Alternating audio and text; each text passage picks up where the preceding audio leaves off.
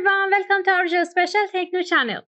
Last session, we would get to know the details of WFS and WCS services and their operations. In this session, we want to talk about the steps of publishing some vector layers by GeoServer. If you want to know more details about it, watch the rest of this video. Vector data structures represent specific features on the Earth's surface and assign attributes to those features.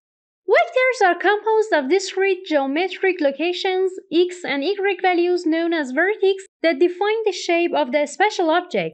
The organization of the vertex determines the type of vector that we are working with, point, line, and polygon.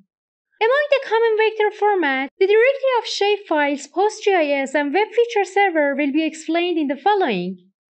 Directory of a spatial files. You can publish shapefiles in GeoServer with two different options. Choosing the directory store, you can configure a folder containing a set of shapefiles, then you will need to individually add each shapefile to GeoServer. The shapefile option provides the path to just one shapefile as we discussed earlier. To adding a directory from data section, navigate to the stores and click on add a new store, then directory of spatial files. We will use the project workspace. Fill the required and optional field as shown in the screen. For connection parameters, click on Browse and select the directory where your shapefile is there.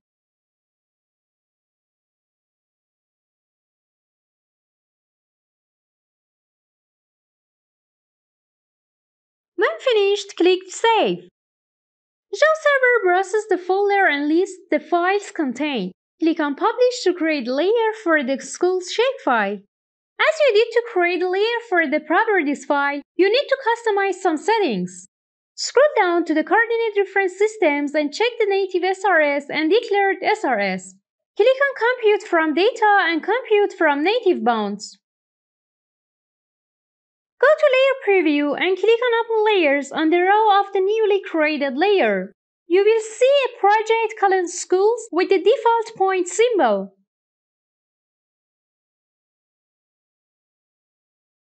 To publish another shapefile, click on Layers again. Then add a new layer. From choose one option, select Project colon directory underline SDR, Then publish the roads shapefile. Click on Compute from Data and Compute from Native Bounds.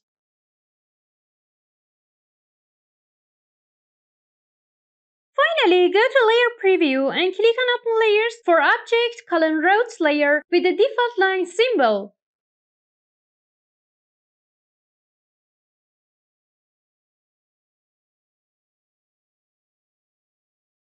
PostGIS PostGIS is an extension to the PostgreSQL Object Relational Database System which allows GIS objects to be stored in the database.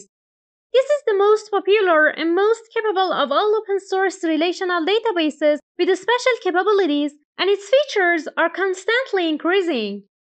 It leverages on PostgreSQL, a well-known and powerful RDBMS challenging top commercial products such as Oracle. Navigate to the Store section. Click the Add New Store link. Select the PostGIS link and click it. You need to insert connection parameters for the database in PostGIS. Select Project for Workspace. Set data source name and description as PostGIS on underline str.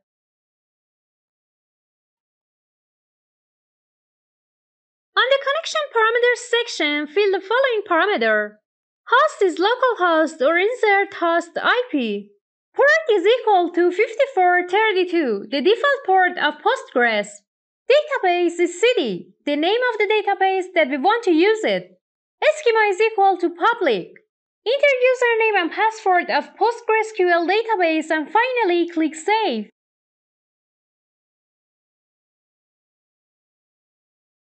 After saving, you will be taken to a page that lists all layers in the PostGIS and gives you the option to publish any of them. Click Publish. GeoServer shows the same publishing form we used for the shapefile. The name and title fields should be automatically populated. Fill the declared SRS field to set the coordinate reference systems.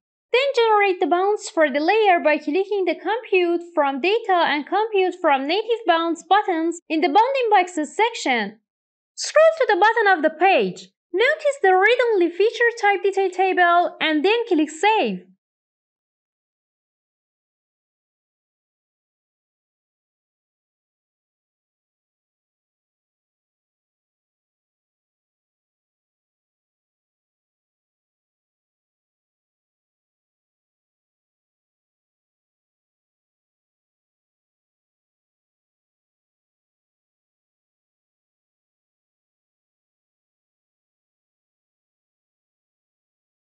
This point, the PostGIS layer has been added and is ready to be served by GeoServer.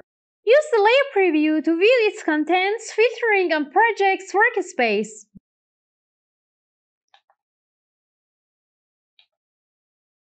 If all went well, you should see something like on the screen.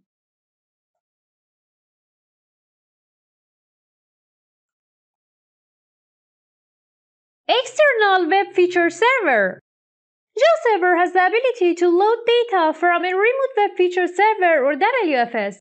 This is useful if the remote WFS lacks certain functionality that GeoServer contains. For example, if the remote WFS is not also a webmap server or WMS, data from the WFS can be cascaded through GeoServer to utilize GeoServer's WMS.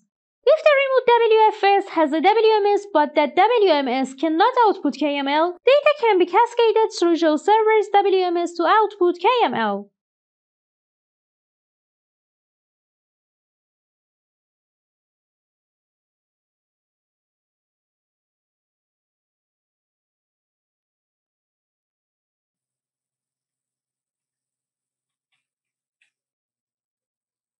To connect to an external WFS, it's necessary to load it as a new data store.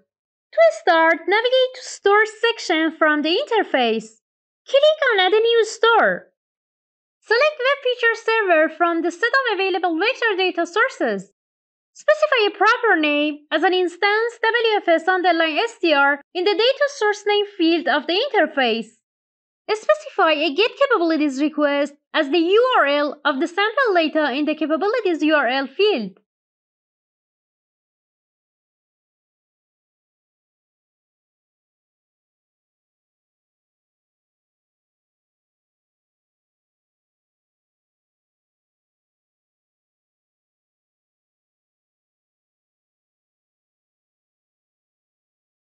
Make sure that the HTTP authentication fields match the remote server authorization you have on it.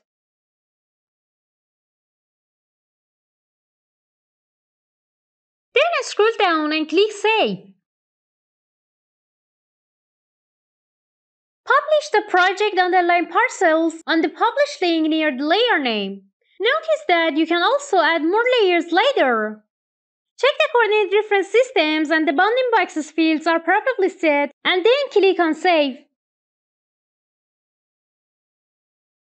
At this point, the new WMS and WFS layer is being published with GeoServer. You can use the layer preview to inspect the data.